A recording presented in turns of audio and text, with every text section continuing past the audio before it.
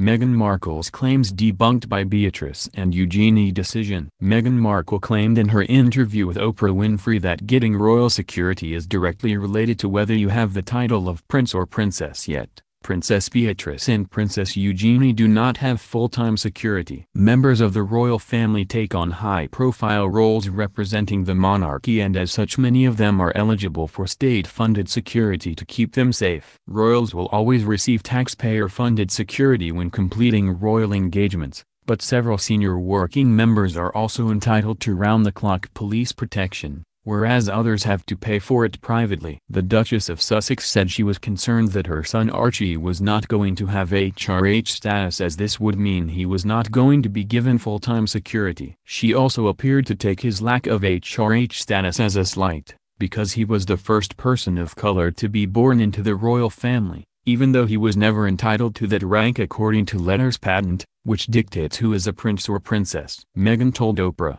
They were saying they didn't want him to be a prince or princess dash not knowing what the gender would be, which would be different from protocol dash and that he wasn't going to receive security. She added, how does that work? It's like, no, no, no. Look, because if he's not going to be a prince, it's like, okay, well, he needs to be safe, so we're not saying don't make him a prince or princess dash whatever it's going to be, but if you're saying the title is what's going to attend their protection, we haven't created this monster machine around us in terms of clickbait and tabloid fodder, you've allowed that to happen, which means our son needs to be safe. When asked whether the title is important to her, she said, if it meant he was going to be safe, then, of course. However, the idea that security entitlement is inherently linked to a royal's title has been debunked. Royal security is funded by the Home Office and decisions about who gets security are made by the Royal and VIP Executive Committee, which controls the security budget for the royal household and VIPs, including former prime ministers. The actual protection is provided by a special branch of the Metropolitan Police Service called the Royalty and Specialist Protection. Because it is taxpayers' money which funds this, the committee makes their decision based on numerous factors, not simply the arbitrary fact of whether someone has a title or not. Prince Andrew's daughters Princess Beatrice and Princess Eugenie, for example, have not had full-time taxpayer-funded security for 10 years now. This is because they are not considered working members of the royal family, meaning they do not carry out royal engagements on behalf of the crown. The princesses had 24-hour police protection up to 2011,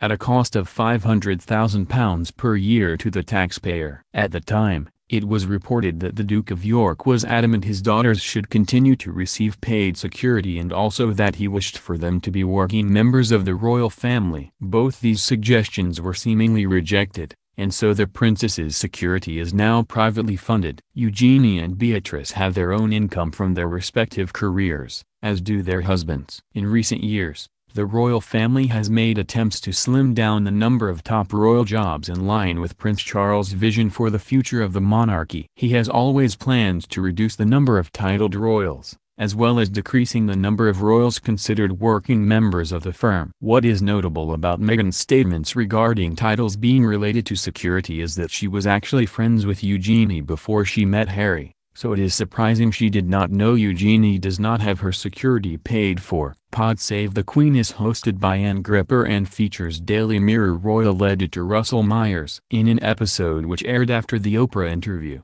Mr. Myers said, on the point of being half in half out, like we've been saying, trying to suggest they were like the Duke and Duchess of Gloucester are Beatrice and Eugenie. It just doesn't work like that because they do not have full-time protection. And Harry's point was he is still a target. The threat level hasn't reduced, he's a former military man and a senior figure within the royal family. Well, that costs an awful lot to keep those people safe and if you don't want to be a part of it, why should we be paying for it? It is not disclosed to the public how much royal protection costs. The Treasury website says, no breakdown of security costs is available as disclosure of such information could compromise the integrity of these arrangements and affect the security of the individuals protected. It is a long-established policy not to comment upon the protective security arrangements and their related costs for members of the royal family or their residences. However, One estimate put the total cost of protecting royals at pound 100 million every year. Meghan insisted to Oprah that the prestige of a title was not important to her, it was only the security aspect. She said, all the grandeur surrounding this stuff is an attachment I don't personally have, right? I've been a waitress, an actress, a princess, a duchess. I've always just still been Meghan, right? So, for me, I'm clear on who I am,